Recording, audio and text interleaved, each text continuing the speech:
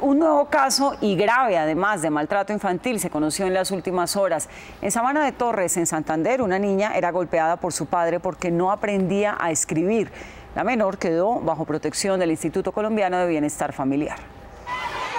La ausencia por varios días de la menor de 5 años a este colegio alarmó a una docente que informó a las autoridades, quienes de inmediato decidieron buscarla en la casa. Nos dirigimos hacia el hogar de la, de la menor, en donde efectivamente encontramos que la niña estaba perturbada, temerosa, emocionalmente estaba muy afectada. La niña fue llevada por la Policía de Infancia y Adolescencia al Hospital de Sabana de Torres, donde los médicos descubrieron signos de maltrato la mandé al médico y realmente las lesiones que tenían eran bárbaras.